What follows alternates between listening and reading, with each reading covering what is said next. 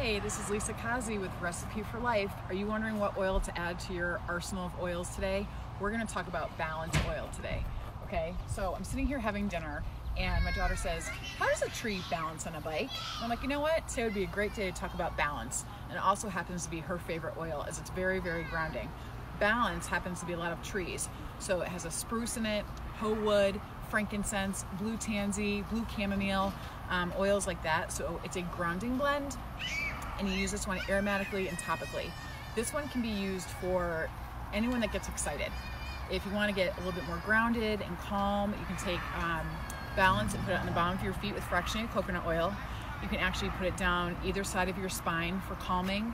Put it in your diffuser. We recommend that anyone that has a lot of high energy or needs to be a little bit more calm in the morning, start right away in the morning, bottom of the feet, down the spine in a diffuser. It will calm you and start you on the day calm. The next way you can use this is they call balance acupuncture in a bottle. There's actually an Olympic athlete out there that uses balance before they um, compete.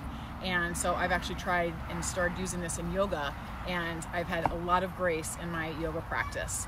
Um, so, balance again, very grounding. Um, children love it. My three year old prefers this one for sleep at night. So, anything calming, grounding, anything you need, balance. And you can be like this little tree, balance on your bike.